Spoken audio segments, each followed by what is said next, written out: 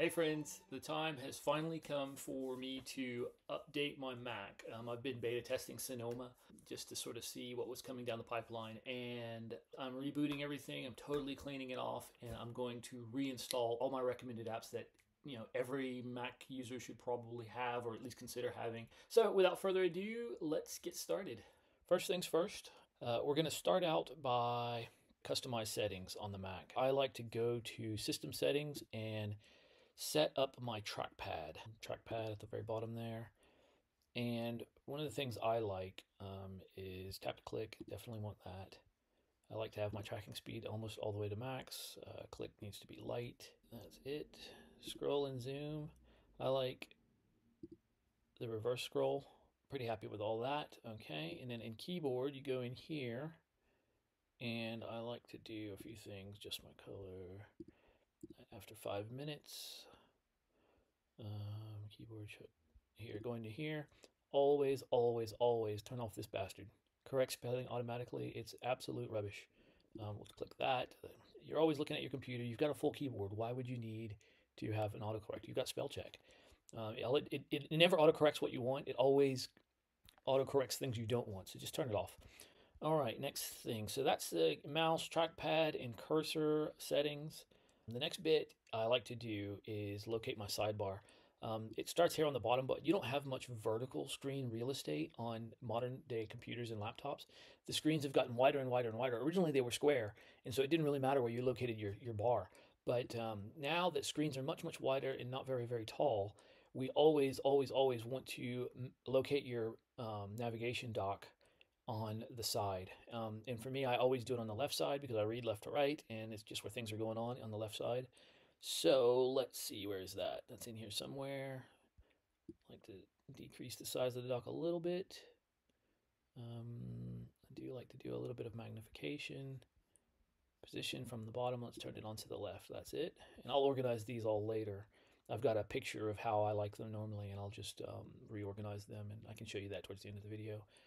All right, uh, we can also do hot corners really quick. Just did a quick note in the bottom right, I like to get to my desktop.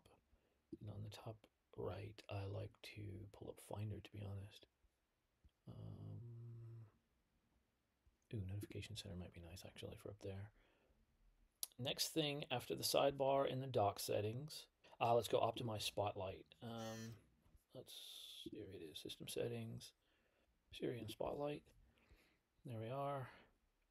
Ah, yeah, Spotlight here. We don't need Spotlight looking through our movies or music. This just saves Spotlight time when you're looking for stuff. Um, mailing messages, images, can turn off all of this. We don't want it looking at websites at the moment. Um, that stuff will work. All right. Well, that's so that's our settings for Siri and Spotlight. There's a couple of things I like to set up in Finder that um, that are that are worth uh, changing around. A couple of things. One of them is Finder settings. This old guy here. I like to see my hard disk, external drives, CDs, you know, iPods. Don't use those. Connected servers. Instead of my recents, I like it to go straight to my downloads, to be honest. Always show my downloads folder. Okay. Sidebar. Okay, let's take recents out. Um, applications, desktop, documents, downloads. Uh, let's see, iCloud Drive, shared. Don't know if we need shared. I like to keep this minimal because it just keeps everything a bit cleaner. Um, we've got those showing on the desktop, so we don't need that. CD, we don't need that. Leave that one up. Don't need that one. Don't need that one. Don't need that one. Leave that. I think I'll pop that one back on. Don't need that one. We've got the desktop there available, so I don't really think we need that one either. So that's that optimized. Going to advanced. All file name extensions is a must. Otherwise, you don't know what you're looking at. We don't need the warning before emptying the bin. Move items from the bin after 30 days. Yeah, search the Mac. Okay, so that's our Finder settings. Done. There's one more thing I want to do. I want to customize this toolbar. And I like to add in, where is it? Um, it's nice to have a delete button up here, but it's also nice to have airdrop up here because sometimes you select a file, you just hit airdrop. You don't have to click and drag it over into this little guy. You just select the file here. I'll show you. Click, select the file, boom, I can click that and it'll airdrop it wherever I want it to go. See, but there's lots of different settings in here. Some of these are good to use. I don't use all of them, but you know, definitely worth taking a look. That's how you do that. And now Finder is set up. So we are ready to move on to the next item in our list. So right here is my list of fresh install Mac apps. These are these are items that I always like to use on any of my fresh Mac installs, and I'll just start that. The first one here is Hidden Bar. Click that guy. It's in the App Store, which is always a nice thing. You can generally trust things that are on the App Store. Um, it's a free one, Hidden Bar. I'll just show you what it does. It's really, really cool. So this is it. I've already downloaded it. We can close that, close this guy, close that guy for now. And this is the app, okay? So what does it do? Well, it's this little bit of functionality up here that you can, oh, here we are. In your Mac's menu bar, hold and drag icons between sections to configure hidden bar. So, and there's, we're going to add a few more apps here shortly, and that will show you how, how to do that. So basically, you just flip around, you just read the instructions. When in doubt, read the instructions. Use the command bar to drag them around, but that's cool. So now if I come and click this button, it hides all those bits that um, I don't want to see. Next up, CopyClip another App Store app. Download that, get it going. I'll show you what CopyClip does. And it's just a very simple um, app that basically allows you to copy anything like Control C. It keeps a record of all your Control C. So if you need to copy a bunch of different things in a document, you can come back and use CopyClip to do that. You can tell it how many clippings to remember. I just do 80 clippings is probably good. Uh, probably don't need to display all of them. If you need to put any exceptions, you can. I generally don't. Well, and that's it. That's CopyClip. So next up, one thing is another app that I really like to use. I'll show you really quick. Download that guy pretty quick. And here we go. Open. There we are. So that's one thing. One thing is just, it's like a little reminders bar. If ever you need to remember something, you basically just click this guy, launch it, log in. That's how we set it up. Boom, log in, get started. And here we go. Ah, one thing right here. What is the one thing? Well, for me, there's actually technically two things. I'll put in two little things that I'm trying to remember. One of them is I'm trying to remember to study uh, which is some kind of herb that um, I want to remember to study to figure out what it does and why you want to use it. The other one is another herb that I'm thinking about uh, trying to use, and it's called mullein. And I need to study both of those. So I type in parslane and and it's my one thing. It puts it right up here. Um, and it's pretty cool, right? I mean, that's it just stays up there and it, it reminds you. This is one of the things that you want to do. Now, for me, I want to move it into my main area over here because I want it to be just visible all the time. Um, and then another thing I like to do is I like to change the color.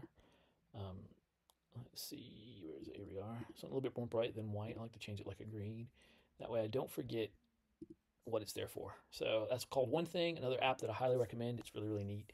Um, it's simple, and you know, what more could you want? I mean, you can put anything in there to remind you of any any old thing to to do, to study, whatever. For me, it's parslane. Is it parslane or purslane? I don't know. I'm gonna have to look it up. But that's another thing. All right, so I'll minimize that. That's one thing. Let's move on. Ah, the next one is Shottr. This is a screenshot tool. It's a really good one, actually. I'll just go ahead and get that downloading. Allow.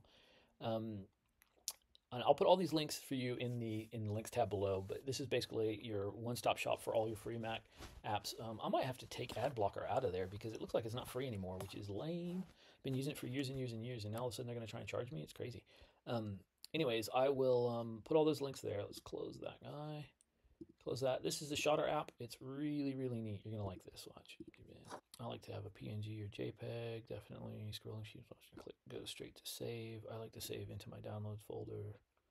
And that's kind of cool. You can actually clip out the background if you like, so it just shows you transparent. I didn't really know it could do all that. That's, that's kind of neat. That'll automatically make it a PNG though, so I don't know if you want to do that.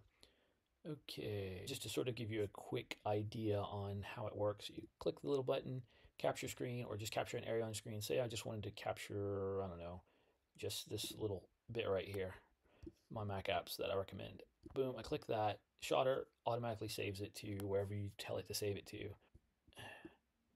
We are, and I can edit, save pin. Let's just click edit, and there you go. That's your editor. You can bring it up. You can do all kinds of things. Save it, close, and there you go. That's how it works. It's a quick screenshot app. app. You can do your whole screen, capture your whole screen, pops it up, and there you go. It's um it's pretty cool. I highly recommend it. Take a look when you get a chance. All right, next one is ImageOptim. So ImageOptim is sort of a I, I put it in a category of minimalist apps for everybody because this one um, it basically takes your photos and it strips out all of the unnecessary information and data that's saved with your photo. Um, it's kind of a cool one because it makes your photos smaller, basically. Which you know, who doesn't have trouble with space um, these days? Like everybody's always got issues with their space saving and stuff. So um, I'll uninstall this shard, or at least move that to the bin for now, and we'll get going with this one. ImageOptim app. Oh, Rosetta, that's fine.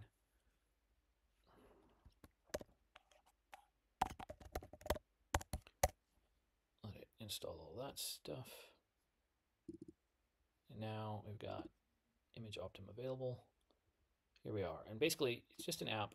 I like to have it higher in my thing um, where you just drop your images in here. It'll strip out all information and make the image. It'll keep all the quality settings to the quality settings that you like. It doesn't actually change the image in any way, but it it just strips out all the unnecessary redundant data like geolocation, where you took the photo, that kind of stuff. Which a lot of times you don't. I mean, sometimes you want to keep that information. In that case, you just don't put it in image optic. But you don't want that data in every single one of your photos that you always take. It's just unnecessary data that clogs up your computer over time and it's be, it's good to be able to strip that stuff out. Anything you download from the internet, you may as well strip that information out because you're never going to need it, basically.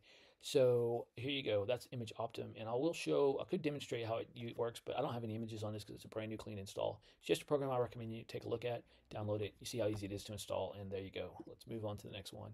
Last one is OmniDisk Sweeper. This is a really good one. It's a very powerful one that I've had for years now. Um, it's really good on Macs. I highly recommend you go ahead and download this. Um, basically it, a, it allows you to access your file structure and delete stuff directly on your Mac um, that you may or may not need. So you can do damage with this. It's literally it's omni. It, it's very very powerful. It's omni powerful. So um, you don't want to just sort of play around with it, but um, it's um it's it's a very powerful tool to clean your Mac when you need it. So I'll just go ahead and open that and get that guy going. Agree to the EULA because I've read it in the past that put the applications through, and we've got OmniDisk Sweeper there. There it is. I like to have him over here towards the bottom.